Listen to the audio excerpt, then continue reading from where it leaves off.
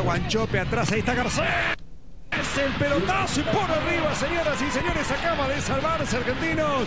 Lo tuvo Colón, primero Guanchope, luego Garcés y finalmente aparecía para empujar Galván. Como a sus espaldas empezó a moverse Heredia, entonces ajustó las piezas Colón de Santa Fe. Qué bien clavado. Mientras repasamos la anterior, todo valía. Bien por Guanchope que la mete al medio, Garcés y su remate. Bien por Arias, atento. No se quedó descansando. Como si la última línea de Argentinos, un llamado de atención para el fondo visitante.